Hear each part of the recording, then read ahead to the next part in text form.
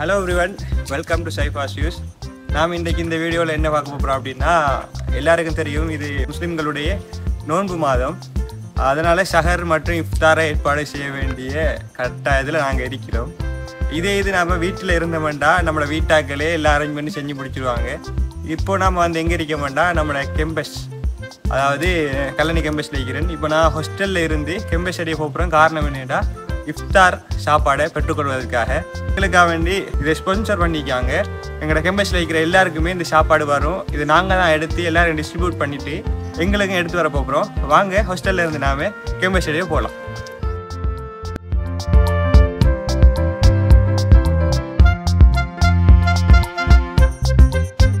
கிட்டத்தட்ட எங்களோட ஹாஸ்டல்ல இருந்து கெம்பஸுக்கு ரெண்டு கிலோமீட்டர் இருக்கு. அது வரைக்கும் நடந்து போய் தாகணும் நடந்து போவோம்.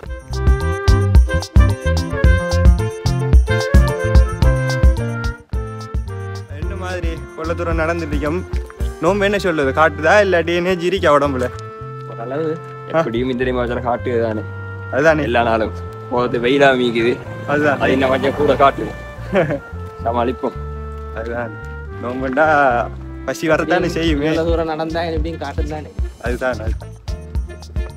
நாம் ஒரு வழியாக மெயின் ரோடுக்கு வந்து சேர்ந்துட்டோம். நம்ம மெயின் ரோடுக்கு வந்து சேர்ந்தாலே கிட்டத்தட்ட எங்களோட கெம்பஸுக்கு வந்த மாதிரி தான். எப்படின்னா இந்த முன்னுக்கு உங்களுக்கு பார்த்தாலே வேணுங்கோ இந்த கெம்பஸோட போர்டுலங்கோ இந்த ரோடுக்கு அங்கால குரோஸ் பண்ணிட்டோம்னா நம்ம கெம்பஸுக்குள்ளே உள்ளுக்கு தான். வாங்க போவோம்.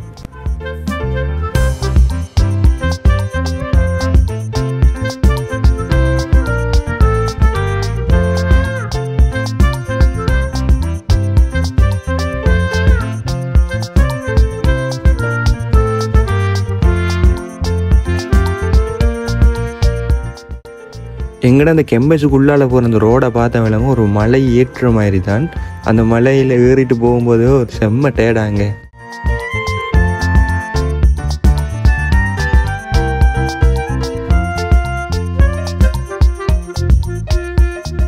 நாங்கள் அந்த உரிய இடத்துக்கு வந்து சேரும்போதே எங்களை அந்த இஃப்டார் உணவுப் பொருட்கள் எடுத்துக்கொண்டு இந்த க்ரீன் கலர் ஆட்டை வந்து எங்களோட இடத்துக்கு வந்து சேர்ந்துடுச்சு.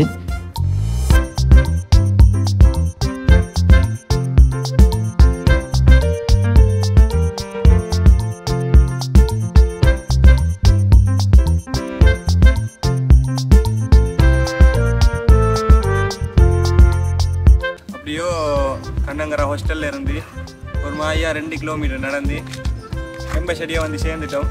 இந்த நம்மளோட இஃப்தார் சாப்பாடெல்லாம் வந்துட்டு பார்த்தா விலங்க எல்லா சாப்பாடும் வந்துட்டு நீ எல்லாருக்கும் எந்தெந்த ஹாஸ்டலுக்கு எந்தெந்த போர்டிங் எத்தனை எத்தனைன்னு சொல்லி பிரித்து வச்சுட்டு நமக்கு எத்தனை சேவையை பிரித்து எடுத்து வச்சுட்டு எல்லாரும் கொடுத்துட்டு எடுத்துகிட்டு போக தான் கொஞ்சம் வெயிட் பண்ணுவோம். இப்போ தானே வந்திருக்கேன். கொஞ்சம் நேரம் ரிலாக்ஸ் ஆகிட்டு அதுக்கப்புறம் எத்தனை எத்தனை பிரித்து வைப்போம்.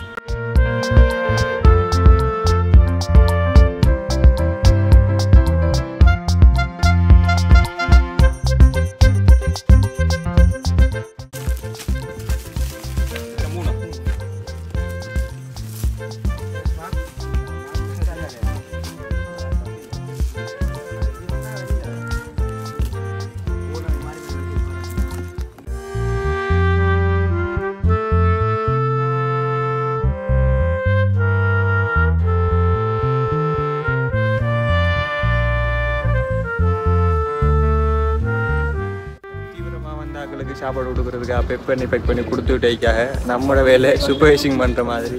கொடுத்துட்டீங்களா இல்லையான்னு பதிஞ்சு வைக்கிறது தான் என்னோட வேலை. இப்போ எல்லாருக்கும் நெருப்பு நெருப்பு வெறித்தனமாக நம்மளை இன்ஸ்ட்ராக்ட் பெக் பண்ணுறாரு அங்கே அருகம் நவீத் எல்லாருமே பெக் பண்ணி பெக் பண்ணி கொடுத்துக்கிட்டே இருக்காங்க.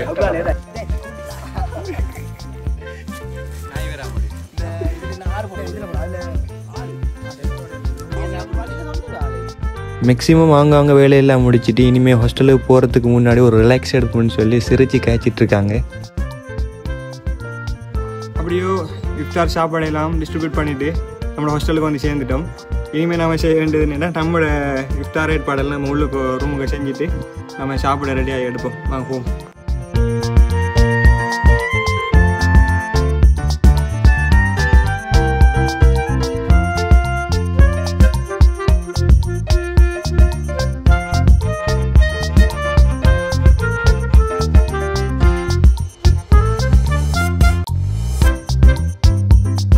எங்களோட ஹாஸ்டல் இருக்கிற அந்த ஏரியாவில் வந்து எந்த வித மஸ்கும் இல்லை அதனால் அந்த மஹரிபாதான் கேட்காது. அதனால் நாங்கள் என்ன செய்வோம்னா ரேடியோ போட்டு வச்சுமோ அதில் அந்த உரிய நேரத்துக்கு அதான் சொல்லுவாங்க. அதை கேட்டு தான் நாங்கள் நோன்பு துறப்போம்.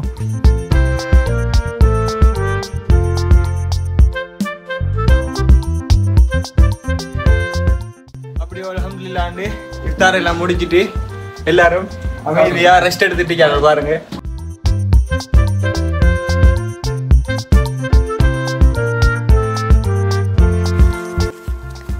என்னடா இவன் புதுசாக இன்னொரு பார்சல் துறக்கான்னு பார்த்துக்கிறீங்களா?